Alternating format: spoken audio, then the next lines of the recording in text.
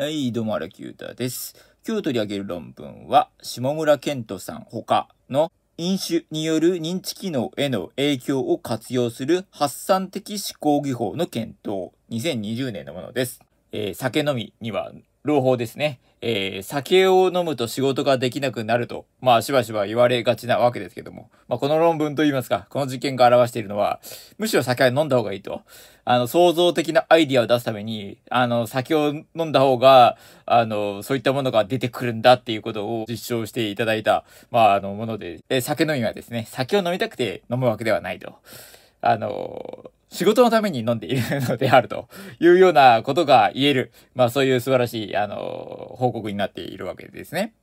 で、まず、まあこの論文では、人間の創造的な思考のプロセスを2つの型にま分けているというところが、まず第一に第一かなと思うわけですね。えー、すなわち、収束的思考と発散的思考のまあ区別であるというわけです。で、収束的思考っていうのは何かっていうと、バラバラにある知識や情報を結合して一つのアイディアにまとめていくっていうような思考のプロセスを指すわけですね。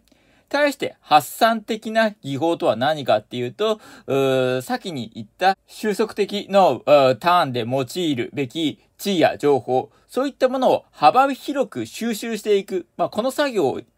に相当するというわけです。すなわち、発散的で収集したものを収束的で一つにまとめ上げる。まあ、これによって、えー、創造的なアイディアってものが成り立つんじゃないかっていうような、あの、まず前提があると。で、こういう前提を踏んでみたときに、えー、この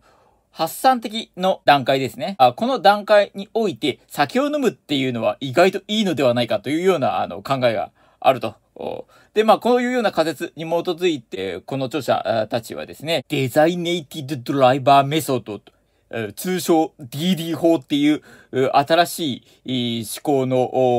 方法といいますか、まあ、酒飲み論みたいなものを、まあ、提唱すると。で、まあ、DD 法の肝は何かっていうと、ある種二段構えでことを構えていると。すなわち、飲酒によって様々なアイディアを出す。これを非飲酒時に、えー、新たに評価していく。まあ、この二段構えによって、より創造的な思考のプロセスってものが可能になるのではないか。でですね、その DD 法が正しいのかどうかを確かめるために、えー、実験をしてみたよっていうのが、この論文の、まあ、骨子になっていると。で、その実験っていうのは何かっていうと、まあ、陰性たちを集めて、通常ではない〇〇の使い方を考えてくださいっていうようなことを課すと。で、えー、こういうような、あの、出題に対して、えー、飲酒時と非飲酒時で違いが出るのかどうかっていうことを、まあ、実験してみた。予備実験と、本番のその実験、まあ、二つやってみたよっていうようなことになっているというわけですね。まあ、例えば、あの、傘とか、ああ通常ではない傘の使い方とか、通常ではないコップの使い方とか、まあそういうようなテーマが出されたりしていたようですけども、そういうことをやってみたよというわけです。結論的に言えばですね、えー、実現可能性は低いが独自なものが飲酒時にはよく出てくるよっていうことが言えると。で、えー、これは、先ほど言った収束的な思考においては、あまり重要なものではないかもしれないけども、発散的な思考においては、こういったものがベースになって、えー、やがて大きなアイデアになっていくので、いいんじゃないかと。つまるところ、もっと酒飲んだ方がいいんじゃないかみたいな、まあ、感じで、まあ、論文が終わっていると。いや、私もね、まあ、決して飲まないわけではないんで、えー、しばしば、あの、飲んで何もできないことに後悔したりしなくもない日々を送ってますが、まあ、これでね、もう、酒飲みも仕事であるということが言えるようになったので、はい、あの、安心して読んでいきたいと思いますね。はい。はい。えー、ありがとうございます。新しい本といいますか、雑誌をいただきました。えー、ウィッチンケアの11号ですね。ウィッチンケアっていうのは、多田洋一さんっていうフリーライターでいいのかな？まあ、ライターの方が、あの、出している独自文芸誌です。で、あの、まあ、あの、どういう存在意義でやってるのか、あの、常に、あの、疑問だなとか、疑問と言いますか、謎だなとか思ってるわけですけども、しかしこれもね、1年に1回出すことになっていて、えー、去年が10周年を迎え、去年と言いますか、前後が10周年を迎え、で、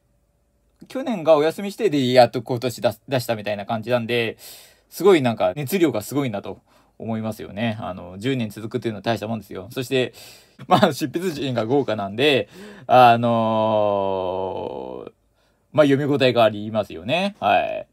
うん、いや、私がお世話になっている中俣明夫さんとかね、えっ、ー、と、まあ、ライフっていう、